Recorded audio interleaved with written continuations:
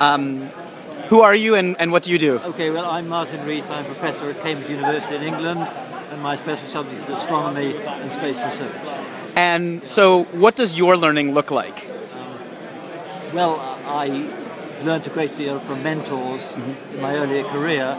Uh, now I learn by uh, listening to people and also more by, um, by reading. But I also find that uh, watching uh, talks on the internet is often very valuable.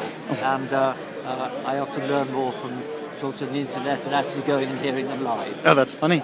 Um, how can schools change to or evolve to uh, allow for that kind of learning?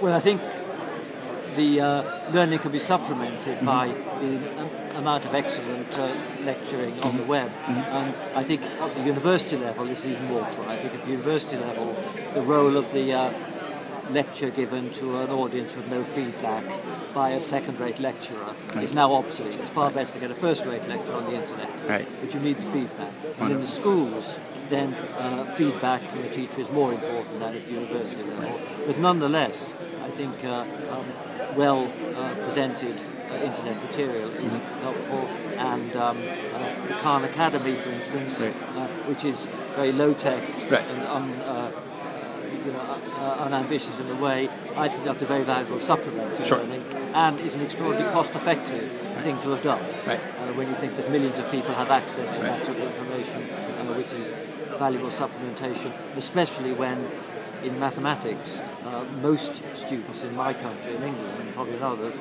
uh, never get taught by anyone with even a bachelor's degree in mathematics. Right. And so to supplement their uh, education by access to the Khan Academy or something like that is very valuable in my opinion. Awesome. Thank